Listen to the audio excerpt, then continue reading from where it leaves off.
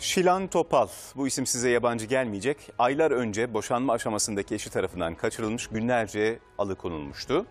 Saldırgan tutuklanıp cezaevine gönderildi ama sadece 5 ay sonra serbest kaldı. Karar duyan talihsiz kadın gözyaşlarıyla adliyeden ayrılırken yaşadığı ölüm korkusunu arkadaşlarımız Özlem Aktay ve Arif Soner Kalkan anlattı ve bu cümleyi kurdu. Tahliye oldular her zamanki gibi. Adalet yine yerini bulmadı. Yine öldürüleceğim ben biliyorum. Ben öldürülmek istemiyorum.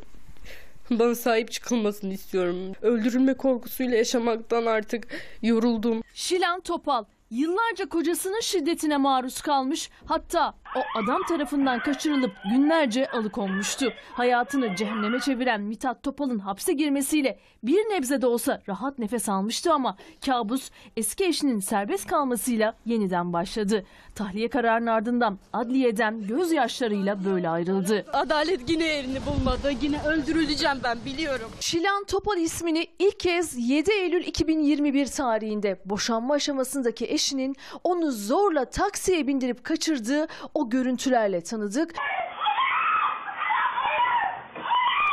23 yaşındaki Şilan 3 gün boyunca bir başka evde alıkondu ve ölüm tehditleri aldı. Yaşattığı o dehşetin ardından o cani tutuklandı, cezaevine gönderildi ancak dün maalesef tahliye edildi. Beni dün öldürdünüz.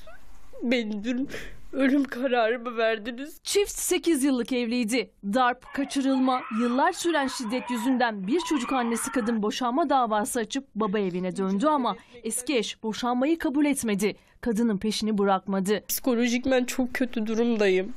Biraz kendime geldim. Tam birazcık kendime geldim derken Tahliye edildi. tahliye edildi. Şilan yaşadığı o dehşetin ardından evinden dışarıya çıkmaya bile korkar hale geldi. Çünkü o sözlü koca hapisteyken bile Şilan'ı rahat bırakmadı. Ona mektup gönderdi. İşte o tahliye kararının ardından Şilan için maalesef kabus dolu günler yeniden başladı. Yani bana öyle şeyler yaşattı ki kendi kendime artık ölmeyi istiyorum yani. Topal evladı için de endişeli. Çünkü eski kocası oğlu Yamacı kaçırıp aylarca saklamış, 4 yaşındaki çocuk polis operasyonuyla kurtarılabilmişti. Onlarca suçtan sabıkası olan adamın tahliyesi aileyi bir kez daha sarstı. Şilam Topal kapısında polis beklese de şiddet gören her anne, her kadın gibi diken üstünde.